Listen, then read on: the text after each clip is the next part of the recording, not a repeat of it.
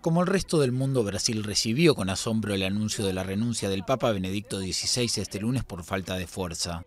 Fue un poco Fue un poco sorpresa para la gente, para los católicos, porque todo papa va hasta el final de su vida y uno de niño se acostumbra a ver eso.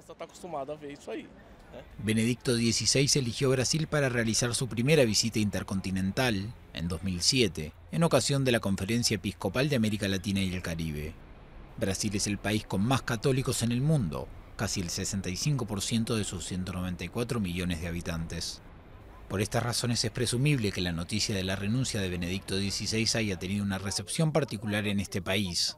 Sin embargo, los brasileños ya piensan en un nuevo papa, originario de estas tierras para suceder al pontífice. Por el número de católicos que hay en nuestro país, que es el país con más católicos en el mundo, es importante que el próximo papa sea brasileño. Si el futuro papa no fuera brasileño, podría ser un latinoamericano.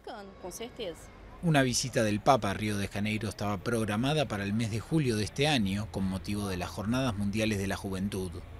La arquidiócesis de la ciudad anunció el lunes que mantiene la realización del evento, que reunirá unos 2 millones de jóvenes católicos.